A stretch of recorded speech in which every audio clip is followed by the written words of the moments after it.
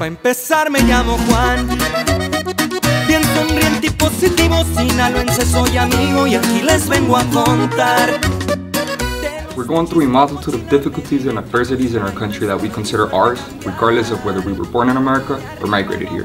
We're all simply working towards a more prosperous future for us and our families. We have been accused of being rapists and murderers among other things, all simply because we're immigrants. The reality is that we are people who come to this country to work hard, live a better life, and eventually achieve the American dream. Discusiones en mi casa me reservaron un vuelo y me quisieron devolver With hard work and determination, we not only help our own families, but we also contribute to this economy and the growth of this country that we love so much. Gracias a mi compa Carlos, We're accused of taking jobs away from Americans. It is proven, however, that our people are always the ones who devote long hours and get paid much less and do the jobs most Americans won't do, simply for being immigrants.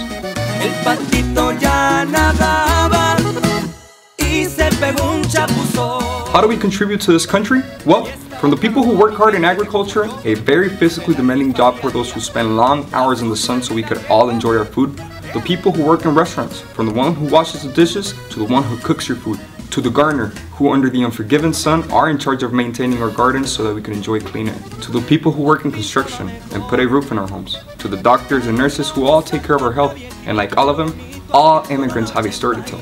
Like Juan, who came to this country to work hard and give his family a better future. Juan, like all immigrants despite his education, had many jobs.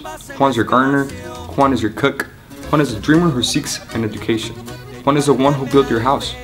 Juan is a nurse, Juan is a person who washes your car. Juan is the field worker who grows your food. Juan is the maintenance person at the park you visit with your children. Juan is the bus driver who takes you to work every day. And like all of them, we came to this country with the conviction that we are all one race, the human race, because we are all Juan.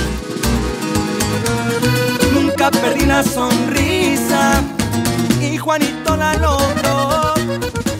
Tengo hasta mi compañía.